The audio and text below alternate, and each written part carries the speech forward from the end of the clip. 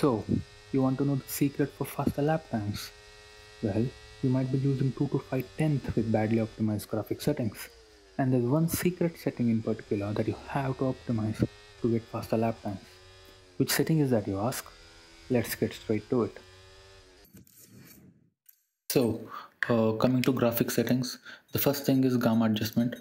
Uh, all this does is you know increase or decrease your screen brightness uh, the default is set at 100 but I like it at 95 because you know I like the darks to pop up more. Uh, so adjust this to whatever you prefer. Coming to motion blur always keep motion blur to zero. Do not increase the motion blur. This might have an impact on your fps also. Staring on animation on off doesn't really matter. Now coming to video mode.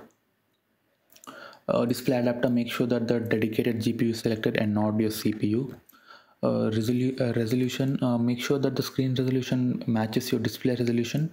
Mm, so mine is uh, so my screen resolution is at 1080p because you know my display maximum maxes out at 1080p so if if your display goes all the way up to 1440p set this all set this to 1440p display mode full screen and aspect ratio 16 is to 9 uh, keep the vsync off. Do not keep this do not turn this on. Vsync in, vsync interval auto coming to refresh rate you have two option either auto you can keep this at auto or you can match this to to your, your screen resolution whichever you prefer keep this on. Remember the secret settings that i was talking about? Well this is it. Frame rate limiter make sure that you turn this on. As default it will be it will be turned off but you have to turn this on and you have to set a maximum fps of 60 to 70 Okay, so what this does is this will limit your maximum FPS to 60 and because your FPS is capped at 60, it will help you go faster. Uh, we are doing this simply because this is, this is the fastest way around. Uh, this is the meta. Uh, this settings is used by esports drivers, so well, you know, they can't be wrong. Uh, you can turn this off you can turn these settings off and when you turn this off you will get around 400 to 500 fps but that just makes you go slow uh, you will lose around 2 to 4 tenths per lap if you turn this off. Uh, so this is all about speed. So if you don't care about speed you can turn this off. But remember this will help you go faster.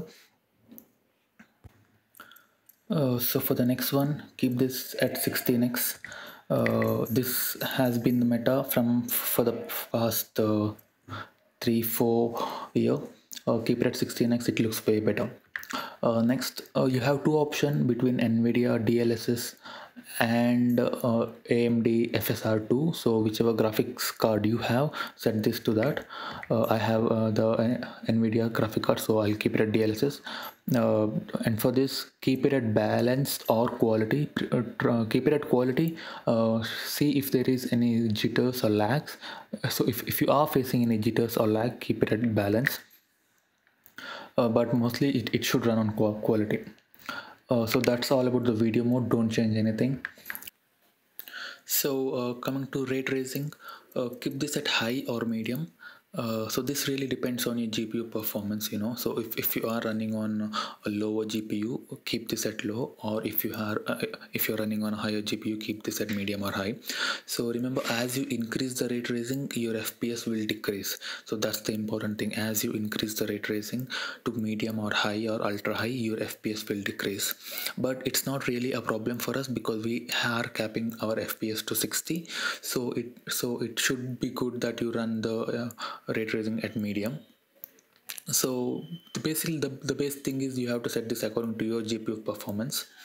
Uh, I prefer to run this on medium you know because I feel that it's a good balance between the FPS and the looks of the game.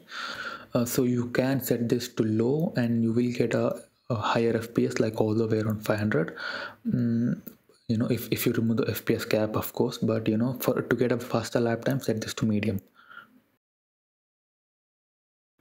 So the thing about ray tracing quality is that there's only two options. It's either high or medium. Uh, unfortunately, there's no off or low option here. So uh, keep it at medium. Always keep it at medium before because I have seen that if you keep it at high, the frame rate drops like crazy. If you keep this at high and you feel like you still have some you know, lag or jitters make sure that you turn ray tracing shadow off ray tracing reflections off ray tracing ambience occlusion off and ray traced transparent reflection off and ray traced ddgi off. So make sure you set all these settings to off and not on. So yeah this is all about ray tracing. Remember the higher the ray tracing you keep the lower the fps you get so at the end just do a benchmark test you know just to see how much uh, fps you're actually getting. Uh, so here's the result of my score. Uh, so i ran with the resolution of 1080p and my uh, ray tracing was set to medium. Uh, so with that i got an average fps of 68 uh, with the minimum fps of 65 and maximum fps of 69 so remember i did cap my fps to 70 uh, that's the reason i'm getting fps just below 70 so yeah that's all the graphic settings that you have to optimize to get a faster lap time. I'm pretty sure that you will save around 2 to 5 10 per lap. Uh, i hope this video was helpful. Thanks for watching